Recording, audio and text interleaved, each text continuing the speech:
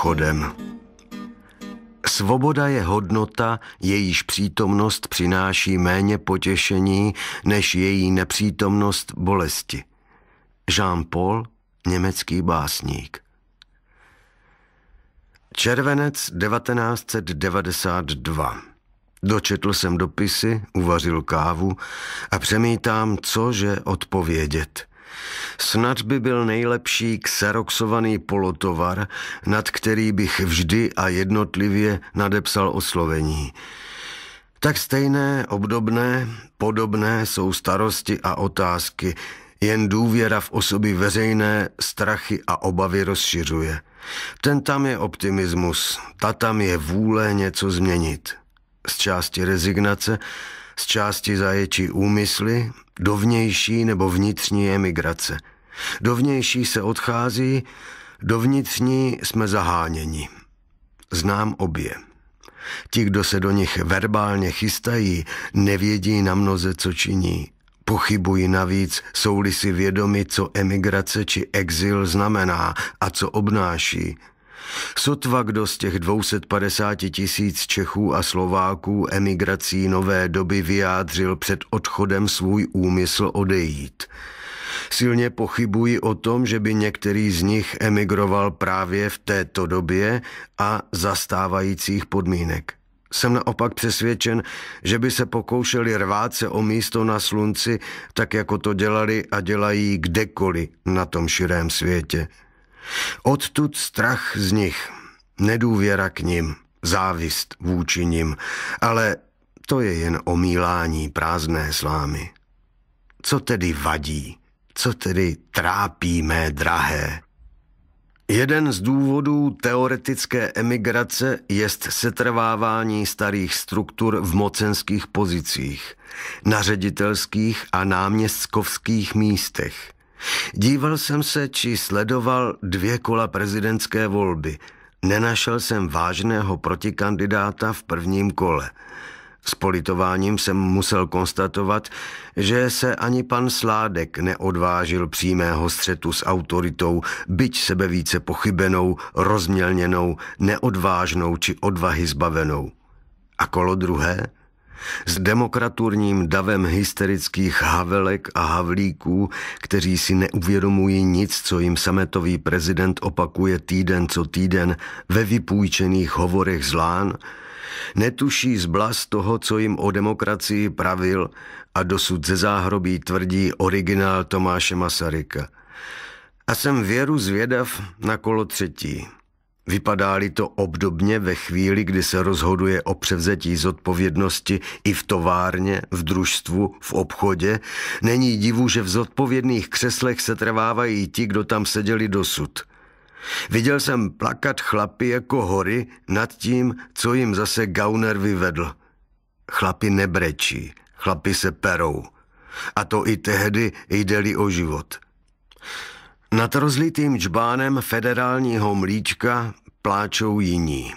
Jakkoliv to nám Čechům, Moravanům i Slezanům nevoní, je slovenská nezávislost vkotvena už v první federální ústavě – je hloupostí představenstva slovenské části dosud existujícího státu máli zanutné proklamovat fakta, de jure právoplatná už před 20 a více lety. A to ještě tak, jak k tomu došlo, tedy veřejným bolševickým způsobem, demokratické zvyklosti odporujícím od A do Z a vypočítaným na přežívající a bezmála už vrozenou občanskou neodvahu chlapců u korita. Neopomenu nikdy a znova a znova opakuji.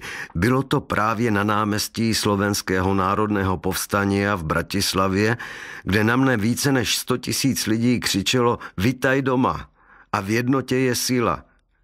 Jestliže tedy dnes pět tisíc lidí slaví samostatnost či nezávislost, táži se, kde zůstalo o něch 95 tisíc.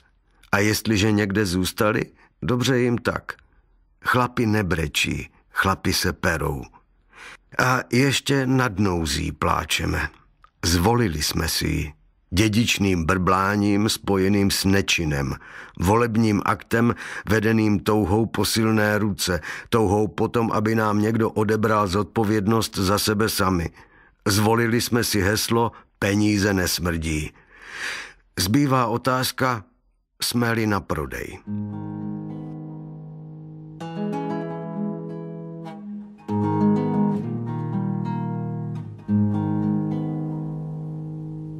Od Čadce k Dunaju počuť čudnú nôvotu. Hranicu stavajú z osnatého drôtu. Kamarát, separát, nová paralýza z Moravy do Blavy vyžaduje víza. Kamarád, separát a nová paralýza z Moravy do Blavy vyžaduje víza. Srpen 1992. Již přišlo léto, nastala vedra. Lev s lidskou tváří odhalil bedra a pod oháňkou patriotismu zbyly dvě tváře. Socialismu.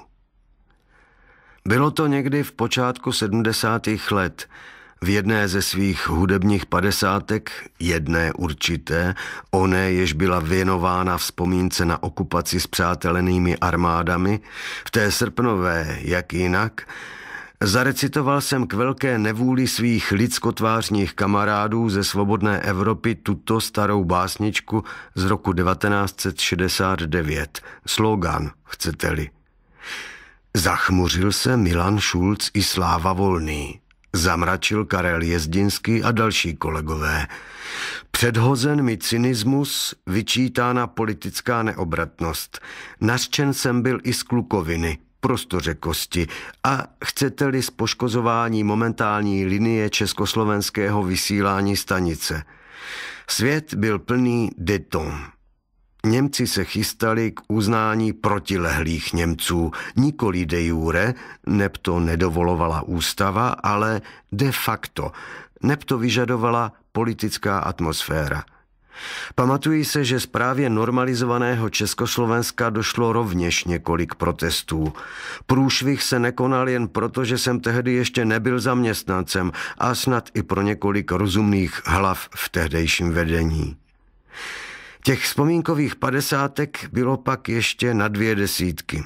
Neveselých povětšinou, některé uvedeny citáty z knihy knih, jiné s písničkami šafránského združení písničkářů, s písní posléze i zahraničních autorů původem z Československa.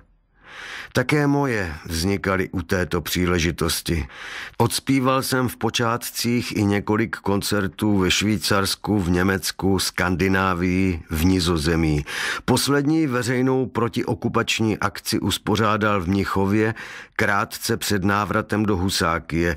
Hrdiný chlapík statečný, jak zpíval Josef Laufer, Pavel Minařík. Šlo o automobilovou kolonu s československými vlajkami, která projela po dvakrát Ludvíkovou a Leopoldovou třídou. Jednou alejí rozdělenou branou vítězů, co nikdy nevyhráli. Pramálo zbylo v paměti mých spolupamětníků. Sotva kdo vzpomene na události před, kolika to vlastně, 24 lety. Jen trauma normalizace zůstalo povětšinou pod kůží duše mé generace. K smíchu je generacím následujícím vzpomínání pamětníků. Zřejmě jim to zní stejně nepravděpodobně jako nám kdysi vyprávění našich dědů, jak táhli na Itálii. Nemám jim to za zlé, alespoň ne docela, ale o tom později. Vysílal jsem tehdy v československé bezpomlčkové stanici, stravován stejnou pochybností nad planou neověřenou vírou, vírou politiků, vírou politickou, vírou politikářskou. Nikoli. Víra nepatří do politiky. Tam patří každodenní kontrola, každodenní námaha o systém, který si přejeme a bez něhož nejsme sami sebou. Pak došlo k něčemu, v což už sotva který z mých soukmenovců, mne sama nevýjímaje, doufal. A nebylo to jaro, ale podzim.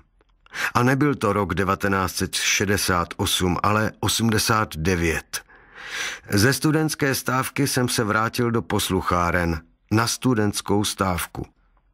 Komu se podaří být svědkem a navíc účastníkem dvojí spoury? Komu je historicky umožněno udělat si po 20 letech revoluční reparát?